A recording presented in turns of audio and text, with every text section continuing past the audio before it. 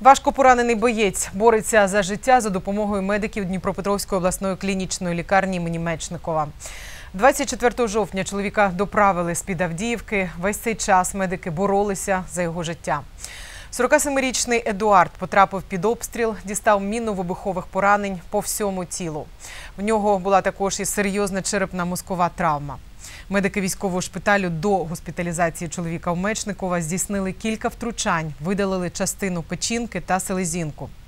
До останнього лікарі не були впевнені, чи вдасться стабілізувати стан військового. Зараз Едуард самостійно дихає.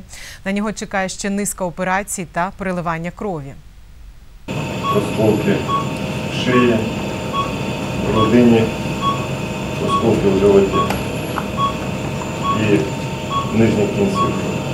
Состояние по-прежнему остается крайне тяжелым, однако появился маленький луч надежды на его спасение. В настоящее время проводится очень массивная терапия. Мы будем переливать кровь, мы будем делать все возможное, чтобы подготовить ее к операциям. І також медики розповіли про ще одного бійця. Його стан починає покращуватися. Олександру 19. Своє поранення дістав 10 вересня. Куля снайпера зайшла у лоб, вийшла через потилицю, повністю зруйнував ліву долю мозку.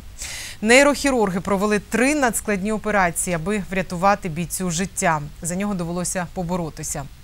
Зараз він у свідомості. Хлопець сирота, але має дружину та семимісячну доньку. Зараз Олександр потребує тривалої реабілітації. Защитный шлем разбила пуля, зашла ему справа и вышла, если вы видите, полностью разрушил левую долю полушария мозга и вышла через затылок. Сегодня стоит вопрос реабилитации, он крайне сложен. Мы понимаем, что такую реабилитацию в нашей стране не делают.